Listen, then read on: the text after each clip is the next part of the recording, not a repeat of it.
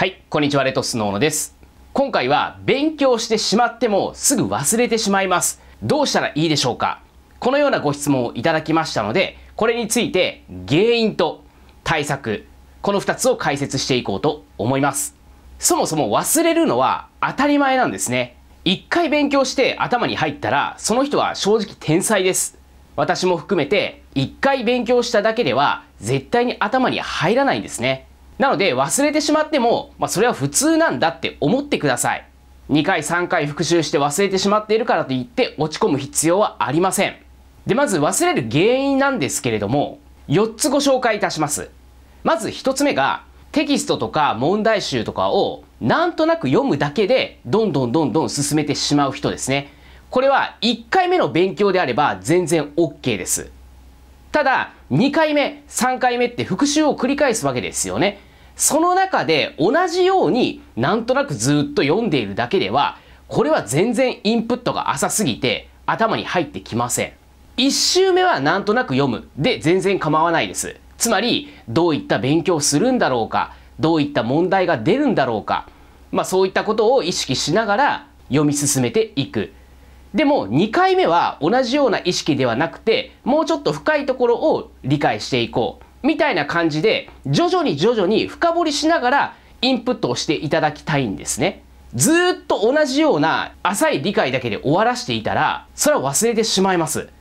やっぱり理解することによって知識って定着していくんで、復習を繰り返しながら理解を深めていきましょう。続いて忘れてしまう原因2つ目。復習のタイミングが遅い。どのくらいのタイミングで復習していますでしょうか？今日やったことを3ヶ月後復習する。これでは正直やっぱり遅いんですよね。細かく何日後っていうのは決まっていません。人によるんですけれども、例えば翌日復習するとか、その後1ヶ月後復習するとか、復習のタイミングがあまりにも遅くなりすぎると、やはり前回勉強したこと全然覚えていないということになるので、まあ、2ヶ月以内に1回目の復習をやるっていうことは抑えておいた方がいいと思います。まあ、実際弊社の個別指導でも翌日に1回復習して、で、その後1ヶ月後、または2ヶ月後ぐらいに2回目の復習する。さらに1ヶ月後、または2ヶ月後ぐらいに復習する。みたいな感じで、3ヶ月以上間置くってことは基本的にはありません。まあ人によって復習のタイミングは違うと思うんですけれども、まあ一つ2ヶ月以内に1回か2回は復習しておくってことを頭に入れておきながら計画表を作成していくといいと思います。続いて忘れる原因3つ目。学習内容が点と点でつながっていない。個別の知識が断片的で結局つながっていないと全体像が理解できていないってことになるんですよね。いきなり全体像を理解するっていうのは正直難しいんですよ。これ意外と多いんですけれども、1回目の勉強で全体像を理解しようとする人いるんですけれども、それができたら苦労はしないんですよ。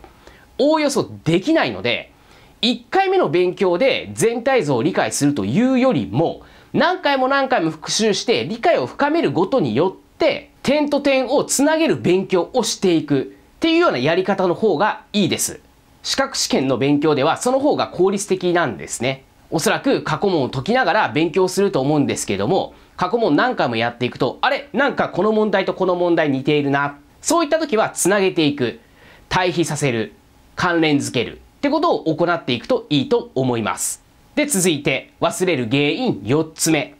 ストレスや疲労が原因で忘れてしまう。例えば仕事のストレスが溜まっている状況で勉強しようと思っても、やっぱり集中できないんですよね。で、そうすると、勉強した内容、やっぱり忘れちゃうんですよ。あと、疲れている状態。疲れている状態で、例えば睡眠不足、こういったものが重なってくると、やっぱり勉強しても忘れてしまう。もうこれは必然です。もう仕方がないんですよ。で、こういった時は、しっかり睡眠をとることを優先させたりとか。で、ストレス。これがすごく厄介なんですけども、例えば、仕事上のストレスって、自分が何か行動を起こして解決する問題じゃない場合が多いんですよ。例えば上司のパワハラとか、上司から仕事をたくさん振られて、それを人に振ることができない。もう自分でやんなきゃいけないってなってくると、もうどうすることもやっぱできないんですよね。もちろん自分自身でその仕事を全てバババッと解決できれば問題ないです。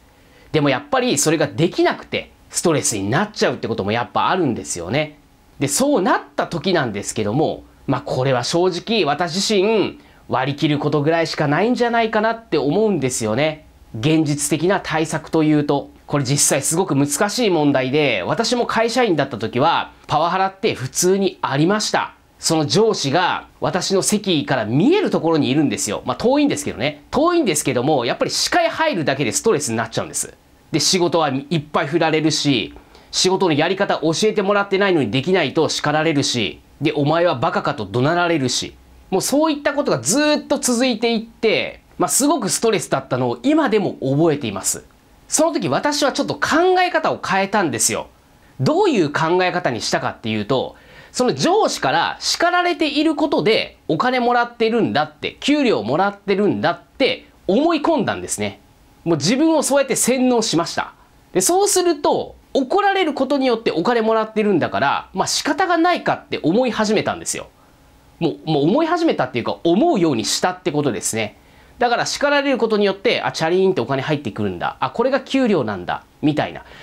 多くの方が仕事をしているからその対価としてお金もらってるってやっぱ思っちゃうんですよ。昔も私そうでした。ストレスだった時ってそうなんですよ。で、そうすると、仕事をしていてお金もらっている。プラスアルファ上司のストレス発散の矛先になっている。みたいな感じになると、なんか給料だけじゃ割に合わないって思い始めるんですよね。だから、仕事をしてお金をもらってるんじゃないんだと。上司から叱られることによって、上司のストレス発散場所になっていることによって、僕は給料をもらってるんだって思い始めたら、なんか叱られてても、まあ仕方がないかって思えるようになったんですね。まあこれは珍しいかもしれないんですけども、もう私自身、もう自分を追い込んじゃってて、もうどうすることもできなかったんで、もうそういうふうに考えて自分自身を洗脳するしかなかったんですよ。だからそのようにしました。もしあなたが同じような状況だったとして、それができるかどうかはわからないんですけれども、もし同じような状況であれば、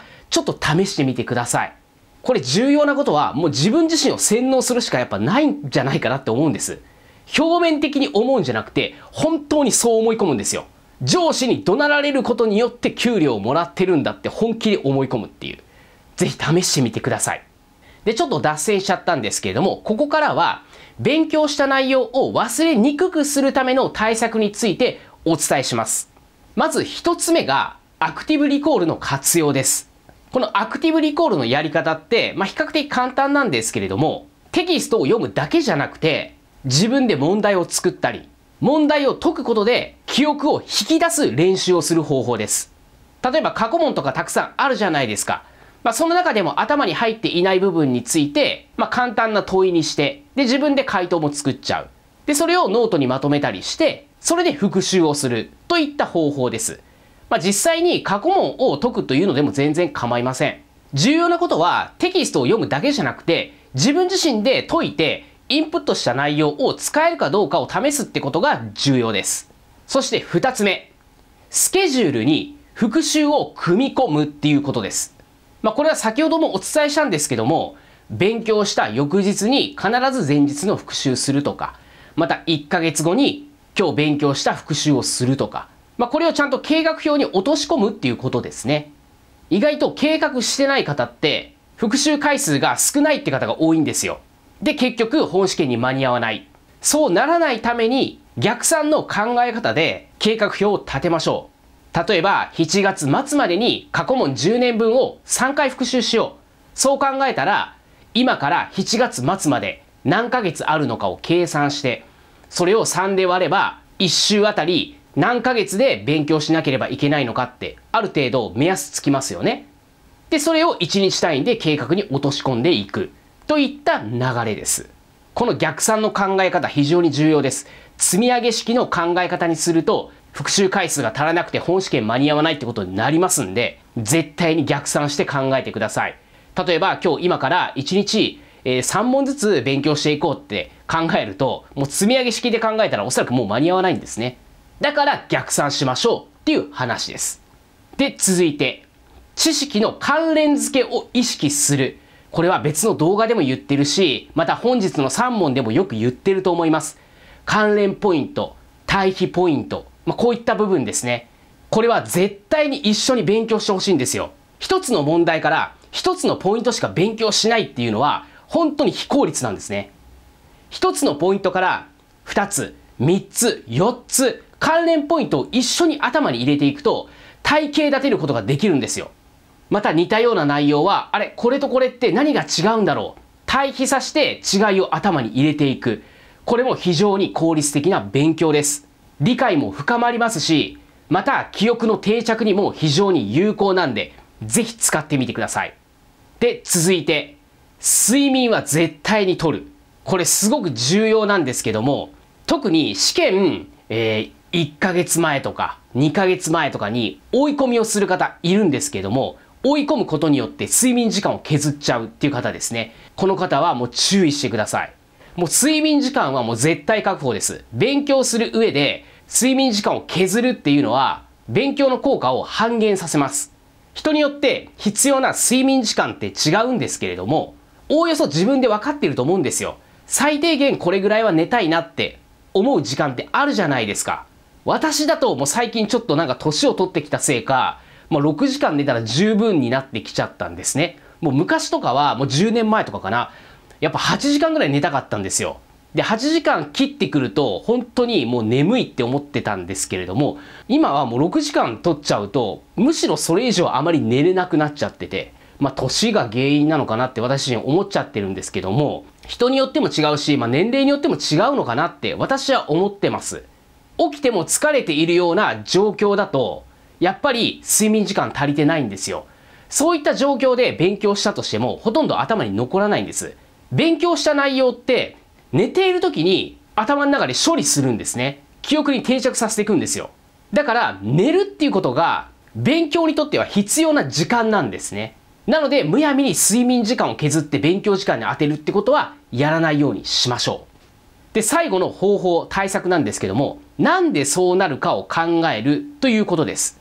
多くの方がもう解説読んでそのまま丸暗記っていう方多いんですけれども、その解説の中に理由まで書いてあるのであれば、まあその内容を頭に入れれば理解できているわけなんですけども、おおよそ書いてないんですよ。となってきた時に、ポイントがあって、なんでそんなポイントになるかっていうところを考えるってことも必要になってくるんですね。これちょっと難しい話になるんですけども、何でもかんでもじゃあ理解しなきゃいけないのかっていうとそうじゃないんですよ。理解すべきものと丸暗記でいいものってやっぱり分かれてくるんですよね。まあ、その精査をしなければいけないっていう点で過去も分析しなければいけないから難しくなってくるんですけどもおおよそ数字に関する問題っていうのはそのまま数字覚えちゃって大丈夫です。で、それ以外の中で理解すべきところってやっぱたくさんあるので例えば間違えた時になんで間違えたのかそこを意識して勉強するっていうのも一ついい方法です。間違えた原因を探るってことですね。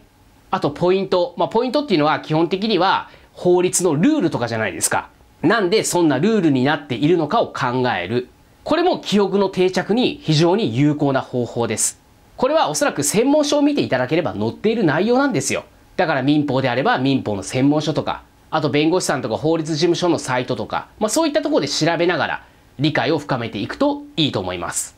まあ、今回いろいろお話しさせていただいたんですけれども、もう人は忘れる動物なんで、忘れてしまってもそれは仕方がありません。ただ、その原因を知って、また対策を行っていくことで、記憶に定着していきますんで、諦めずに頑張っていただければと思います。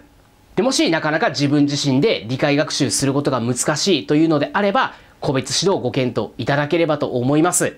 個別指導であれば、あなたに理解学習を実践していただきます。理解学習を実践できれば、勉強した内容は非常に忘れにくくなります。そうすれば次の試験であなたに合格していただける自信ありますので、一緒に勉強できたら嬉しいです。宅建合格目指して一緒に頑張っていきましょう